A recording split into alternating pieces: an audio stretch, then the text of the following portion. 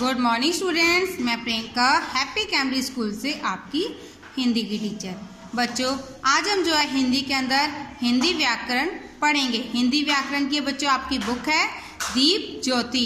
इसका आज हम जो है पार्ट ग्यारह पढ़ेंगे। बच्चों, आपका पार्ट ग्यारह है समान अर्थ वाले शब्द। पाठ का नाम क्या है? पाठ का नाम क्या है आपका? समान अर्थ वाले शब्द। इसको इंग्लिश में क्या कहते हैं? स्नोनियम्स क्या कहते हैं? स्नोनियम्स ठीक है? इसका क्या होता है? जैसे आपको कोई भी एक चीज़ है, उसके कितने नाम है? दो नाम है। लेकिन वो चीज़ क्या है? एक ही है। वस्तु क्या है आपकी? एक ही है। लेकिन उसके कितने हैं? उसके दो नाम है। अब हम इसकी डेफिनेशन पढ़ेंगे। जो शब्द एक सा अर्थ बताते हैं। जो शब्द क्या है? एक सा अर्थ बताते हैं। उन्हें समान अर्थ वाले शब्द कहते हैं। उन्हें हम क्या कहते हैं? समान अर्थ वाले शब्द कहते हैं। जैसे आपको बच्चों ये देखो, चित्र दे रखा है। इस चित्र का नाम क्या है? सूरज। इसको हम सूरज भी कहते हैं और इसको क्या कहते हैं? सूर्य भी कहते हैं। इसको सूरज भी कहते हैं, सूर्य भी कहते हैं। ऐसी आपकी पिक्चर है, चित्र है। इसका नाम क्या है? चाँद। इसको हम चाँद भी कहते हैं और क्या कहते हैं? चंद्रमा। चाँद भी कहते हैं और चंद्रमा भी कहते हैं। नेक्स्ट आपका ये चित्र है। इसको हम क्या कहते हैं? आकाश। इसको हम आकाश भी कहते हैं और क्या कहते हैं? आसमान। और क्या कहते हैं? आसमान। ऐसे ही आपका है। इसको हम क्या कहते हैं? पर्वत।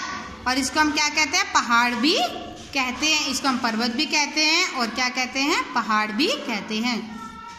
ऐसे ही नेक्स्ट है, खग। इसको हम खग भी कहते हैं और इसको हम पक्षी भी कहते हैं। इसको हम क्या कहते हैं? खग और पक्षी। ऐसे ये किसका है? पेड़। इसको हम पेड़ भी कहते हैं और क्या कहते हैं? वृक्ष। पेड़, वृक्ष। ऐसे ही पानी, जल। इसको हम पानी भी कहते हैं और क्या कहते हैं? जल। इस चित्र को हम क्या कहते हैं? स्त्री और नारी। इसको हम स्त्री भी कहते हैं और नारी भी कहते हैं। ऐसी आपका है, इसको क्या कहते हैं? पुत्र, बेटा। पुत्र, बेटा। ये चित्र इसको क्या कहते हैं? मृग हिरण मृग हिरण ये बच्चों क्या है? इन्हें भी याद करो, इन्हें भी याद करो। ये आपका है पत्र, चिट्ठी, घर, ग्रह, किताब, पुस्तक, प्रकाश, रोशनी। साल, वर्ष, झंडा, ध्वज, वर्षा, बारिश, शेर, सिंह, सांप सर्प सांप सर्प सागर, समुद्र सागर, समुद्र, आकाश, नभ आकाश, नभ, भगवान ईश्वर, भगवान ईश्वर। एक बार हम इसे पद फिर से पढ़ेंगे।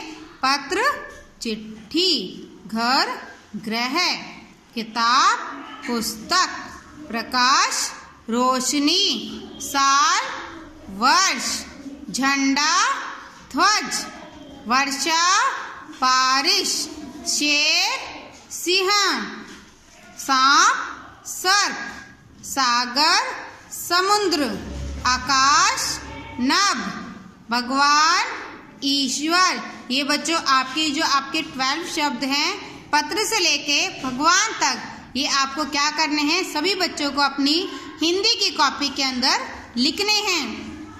सबसे पहले सभी बच्चे क्या डालेंगे? पाठ का नाम डालेंगे, समान अर्थ वाले शब्द। फिर यहाँ से पत्र, चिट्ठी, घर, ग्रह, ये सारे जो है आप लिखना स्टार्ट करेंगे। और कहाँ तक कदम करना है? भगवान, ईश्वर। ये आपके बच्चों, बारह हैं। ये सभी बच्चों को अपनी हिंदी की कॉपी के अंदर neat and clean handwriting में लिखने हैं और ये आपका होमवर्क है और सबको इसको याद भी करना है। Thank you.